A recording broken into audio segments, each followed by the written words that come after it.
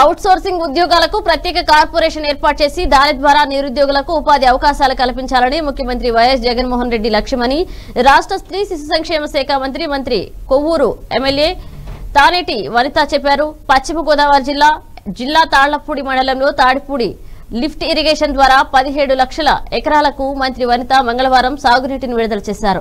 తొలుత గోదావరి నదికి పూజ నిర్వహించారు. అవుట్ సోర్సింగ్ ఉద్యోగాలకు సంబంధించి నిరుద్యోగులు ఎవరూ దళారులను నమ్మి మోసపోవద్దన్నారు.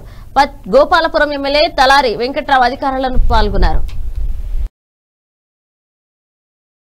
ఒకటి ఈ మధ్యనే ప్రతిపాదన పెట్టారండి. పెట్టిన తర్వాత చాలామంది ఆన్లైన్లో కూడా అప్లై చేసుకోవడం జరిగింది. రిజిస్టర్ చేసుకోవడం జరిగింది.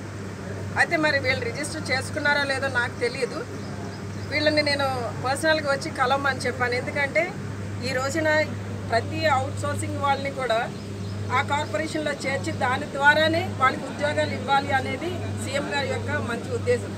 కానీ ఈ- కొంతమంది ఈ అవుట్సోర్సింగ్ ఉద్యోగాలు ఇప్పించే క్రమంలో చాలామంది మధ్యలో దళారులుగా ఉన్న వాళ్ళు వాళ్ళని మోసం చేయడం కానీ వాళ్ళ దగ్గర నుండి డబ్బు ద- దండుకోవడం కానీ ఇలాంటివి జరుగుతున్నాయి.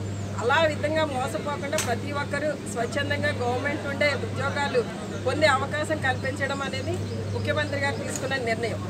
మరి వీళ్ళు ఏ విధంగా మరి అందులో రిజిస్టర్ అయ్యారో లేదో అనేది నాకు తెలియదని తెలుసుకున్న తర్వాత మేము ఆల్రెడీ ఈ విషయాన్ని ముఖ్యమంత్రి గారి దృష్టికి తీసుకువెళ్ళి వీళ్ళకి ఏ విధంగా మేము సహాయపడగలమో ఆ విధంగా చర్యలు తీసుకోవడం జరుగుతుంది.